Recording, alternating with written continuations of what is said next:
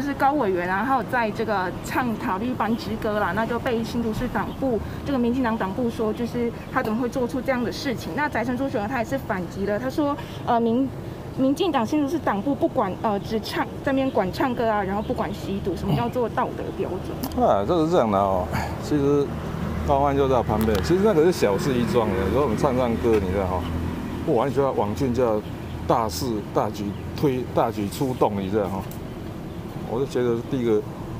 第一个有点小题大做。第一个哈，你不打也好，一打就塔利班这三个字，哇塞！这台湾每个人本来大家也不是每个人都晓，现在被每个人都晓得。第一个，第二点，那你们在努力冲高高洪安的身量，所以我发现网剧才有过，不是说常常哈，常常是 怎么讲，就是做的常常是反而得到反效果。常常我看我看看常常哦，这一段时间。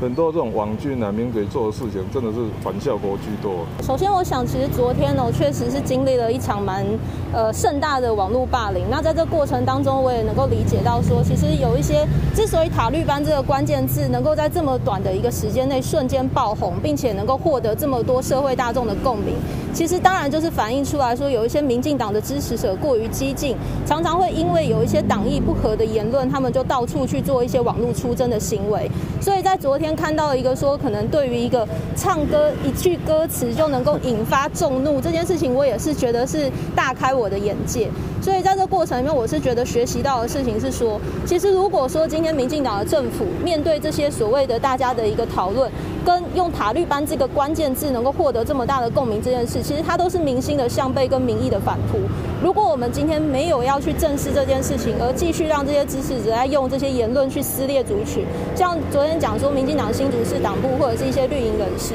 其实他们就有说到说，哎，我唱这个歌是撕裂族群。其实我就觉得很奇怪啊！如果说我今天唱一句歌词就可以撕裂族群的话，那也太厉害了吧？那干脆干脆直接国防部征召我去当那个生化武器，我去敌军去唱一句歌词，把他们的族群都撕裂好了。所以我觉得有很多的言辞，其实在中间都是可以被检讨的。那包含说什么讲说什么立委没有格调，那我觉得立委今天就是民意代表，民意代表就是跟人民站在一起。今天这个关键字卡律班也不是我创造，而今天这首歌也是在直播当中应网友的要求，大家轻松的唱了一句。那为什么今天？会有一群人会用这个一句唱歌。等于是想说，好像这一群人就使出了洪荒之力要来打我。那如果说今天这群人可以在政府防疫不力、有八百多条人命失去的时候，他们可以更更大声的去做这些监督政府的工作，不是对我们的台湾是更好吗？所以我觉得昨天大家既然有这个网络上面霸凌了高红安，我觉得从昨天开始塔绿班也会变成刻在民众心里的名字。这件事情会成为大家对于塔绿班的这些所作所为更明显的一个对证。